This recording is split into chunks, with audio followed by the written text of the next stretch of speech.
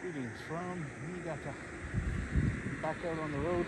It's August, and uh, this is the uh, Shinano River, the longest river in Japan, I believe. Rapids down there. That's a train bridge right there.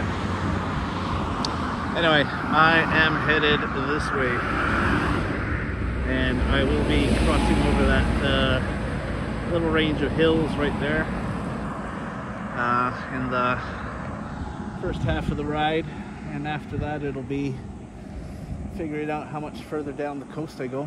So anyway that's looking south upwards.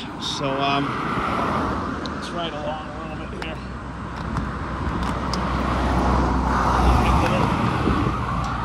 So it's a fairly hot day but it's pretty early. It's not too hot yet high though.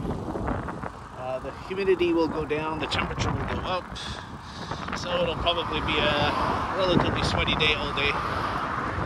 This is uh, first day of two days in planning, where I'm going to be finishing off uh, the rest of uh, Western Niigata with this ride here, taking me, like I said, over those hills and down the coast to where I've been before.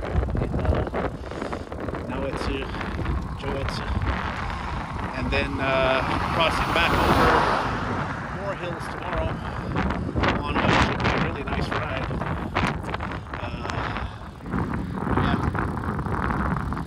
uh, hot, sticky, uphill kind of stuff.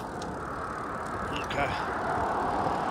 Yeah, just down here where the slope picks up and stop.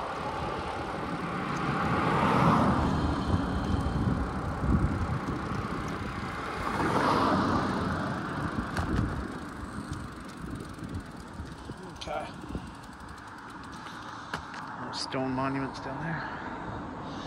Alrighty, so uh, I'll pick it up somewhere down the road and uh, I'll catch you there. Catch you later.